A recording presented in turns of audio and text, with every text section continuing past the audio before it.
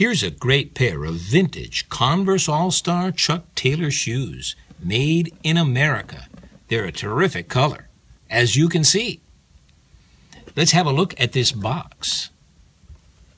It is the sort of box these shoes came in, but this is not the exact box they came in because it's marked Navy 11 and Indonesia, and this shoe, these shoes are none of those. These shoes are nine and a half American, and what else?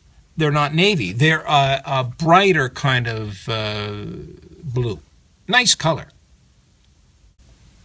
Here's the right shoe. We'll have a good look at it.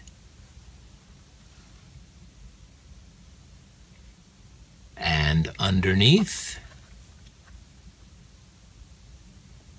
very nice. Not much wear at all on these, and they're nice and flexible, nice and supple, just as they were when they were new. Let's look inside. Converse made in USA. And inside the back there. Very nice. Here's that left shoe.